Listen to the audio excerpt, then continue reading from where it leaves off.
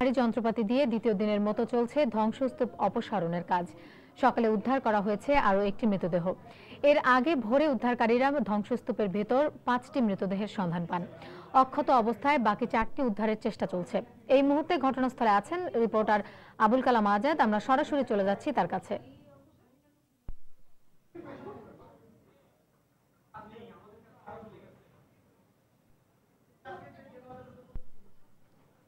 দর্শক, আপনারা দেখছেন যে ধস- পড়া রানা প্লাজার যে ধ্বংসাবশেষ, সেটি উদ্ধারে এখনও কার্যক্রম চলছে এবং সপ্তম দিনের মাথায় কিন্তু গুরুত্বপূর্ণ এই অভিযানে যে যেটিকে গুরুত্ব দেওয়া হচ্ছে সর্বোচ্চ সতর্কতার মাধ্যমে যদি যে কোনো মৃতদেহ পাওয়া যায় সেটিকে উদ্ধার করা।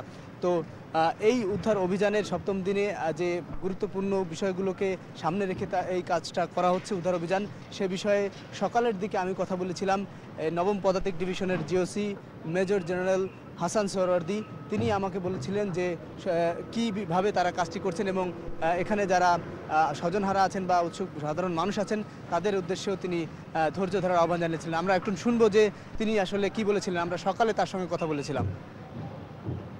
বিভিন্ন ভারী ইকুইপমেন্ট ব্যবহার করে অত্যন্ত সাবধানে কংক্রিট যেগুলো পড়ে আছে, এগুলোকে উঠানো হচ্ছে।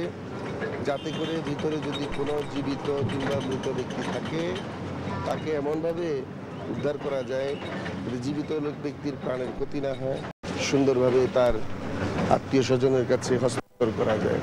তো আমরা সেজন্যে আমাদের উদ্ধার কর্মীরা বিশেষ করে সেনাবাহিনী কাজ করছে এখন।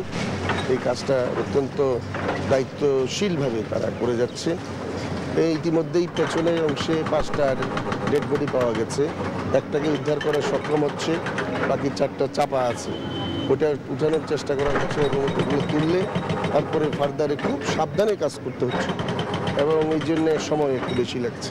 তো আত্মীয় স্বজন যারা বসে আছেন এখানে তাদের উদ্দেশ্যে আমি অনুরোধ করব আপনাদের মাধ্যমে যাতে একটু ধৈর্য ধরে। ধন্যবাদ। দর্শক, আপনারা শুনছিলেন যে এই যে মেজর জেনারেল হাসান সোরার্দি বলছিলেন যে, সবাইকে ধৈর্যের সঙ্গে এই বিষয়টিকে নেয়ার জন্য এবং এই গুরুত্বপূর্ণ অভিযানটি চালানোর জন্য। আমরা আপনাদের একটু রাস্তায় দেখাতে চাই যে, গত সাত দিন পরে কিন্তু এই ঢাকা আরিচা মহাসড়কটি আবার খুলে দেওয়া হয়েছে একটি অংশে। যেই যে রাস্তার দুটি পাশের মধ্যে, একটি পাশে যেটি রানা প্লাজার পাশে, সেই অংশটি খোলা হয়নি। কিন্তু পাশের লেনটি খুলে দেওয়া হচ্ছে যেখানে দুই ভাগে গাড়ি আসা যাওয়া করতে পারছে একটি লেন ধরে। এবং এই লেনের মধ্যে কোথাও গাড়ি থামিয়ে লোকজন ওঠানো নামানোতে নিষেধাজ্ঞা জারি করা হয়েছে কারণ এখানে প্রচুর মানুষের ভিড় জমছে। তো যে বিষয়টি বলতে চাচ্ছি যে এখানে রিক্সা চলতে হচ্ছে না, কিন্তু গাড়ি চলাচল সকাল থেকে খুলে দেওয়া হয়েছে গাড়ি চলাচলের জন্য রাস্তাটি। কিন্তু আমরা দেখতে পাচ্ছি প্রচুর মানুষ কিন্তু এখানে এসে উপস্থিত হয়েছেন এবং এই মানুষদের সরানোর জন্য আইনশৃঙ্খলা রক্ষাকারী বাহিনী কাজ করে যাচ্ছেন। এবং দর্শক আপনাদেরকে আরও বলে রাখি যে এই উদ্ধার অভিযানে সবচেয়ে সহযোগিতা করেছিল সাধারণ মানুষ। তো উদ্ধারকারীরাও কিন্তু সাধারণ মানুষকে এই সহযোগিতার জন্য সবাইকে আহ্বান জানিয়েছেন এবং আপনারা শুনছিলেন যে সেনাবাহিনীর পক্ষ থেকে যারা তত্ত্বাবধান করছেন, তারা সবাইকে সহযোগিতার জন্য আহ্বান জানিয়েছেন এবং ধৈর্য ধরার আহ্বান জানিয়েছেন।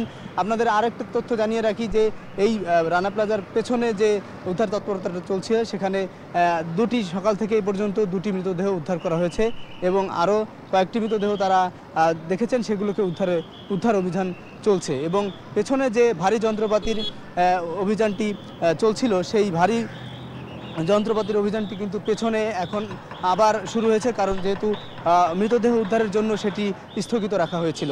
এবং এখন এখন এই যে সামনের অংশে এবং পেছনের অংশে দুই অংশেই কিন্তু উদ্ধার তৎপরতা চলছে এবং এক্ষেত্রে খুবই সতর্কতার সাথে এগিয়ে যাওয়া হচ্ছে। আমরা দেখতে পাচ্ছি যে এখানে ভারী ক্রেন এবং বুলডোজার দিয়ে এই অল্প অল্প করে এই যে জঞ্জাল ধ্বংসস্তূপ থেকে যে কংক্রিটের জঞ্জাল সেই জঞ্জাল কেটে কেটে এনে ট্রাকে করে সেটি আবার একটি জায়গায় নিয়ে ডাম করা হচ্ছে, ফেলা হচ্ছে। তো সেই জায়গাটি আমরা দেখতে পাচ্ছি যে এই দিক দিয়ে অধরচন্দ্র মণ্ডল স্কুলের পাশের একটি জায়গায় তারা একটি স্কেচ করে দেখিয়েছেন যে সেখানে তারা এই কংক্রিটের জঞ্জালগুলো পুরো এই ধ্বংসাবশেষ নিয়ে সেখানে রাখা হচ্ছে।